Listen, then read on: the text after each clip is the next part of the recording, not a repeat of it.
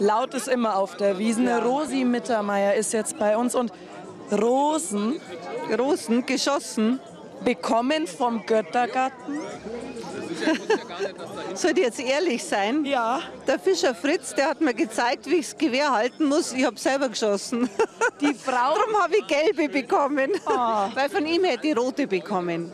ja, Schätze ich schon. ich, ich muss kurz fragen, die Ehefrau muss sich selber die Rosen schießen? Ja, weil äh, es gab nur gelbe Rosen und wenn, dann schieße ich nur auf rote Rosen. Aber sie bekommt sie heute noch das war Rosen? jetzt nicht abgesprochen, Na, aber das war super nett. Da verstehen sich zwei. Ja, das äh, manchmal gibt es auch Disteln.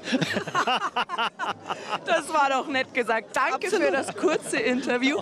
Und jetzt gehen wir zum Essen. Genau. Genau. Jetzt lassen wir es uns gut gehen. Genau.